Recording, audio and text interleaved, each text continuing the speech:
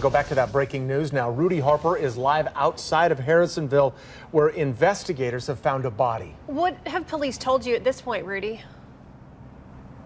Ellen Brad, we just got done speaking with the Cass County Sheriff's Office. Investigators are still working to identify that body. They confirm it's a male, but did not provide many additional details. The body was found just north of Harrisonville around 9:30 this morning. A homeowner looking over his property found the body in a hayfield.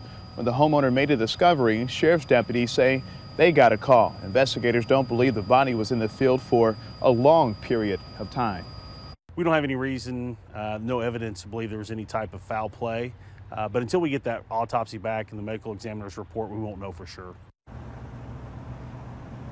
That report could come as early as tomorrow, including the name of that body, of that man that was missing in that hayfield, I should say. Live in Cass County, Rudy Harper, KCTV 5 News. All right, thanks, Rudy. Keep us updated right now.